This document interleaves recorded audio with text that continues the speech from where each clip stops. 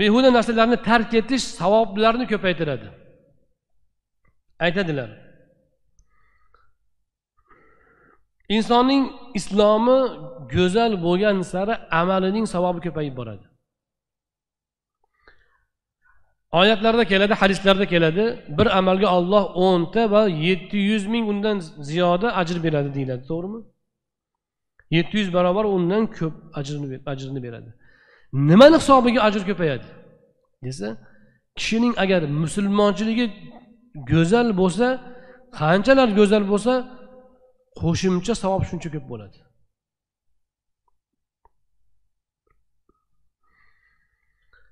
Bunga dalil deydilar sahih muslimda abu hurayra roziyallohu anhudan rivoyat qilingan hadis. Nabiy alayhissalotu vassalom dedilar agar qachon qachon birontangiz islomini go'zal qilsa har bitta yaxshi amali uchun o'n va undan yetti yuz barobargacha savobi ko'paytirib beriladi.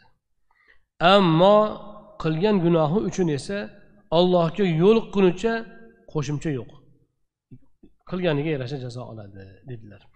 Ushbu hadisdan demak amallarga muzoaf muzoaf qo'shimcha savob olish uchun ham kishining islomi go'zal bo'lishi kerakligi 训人。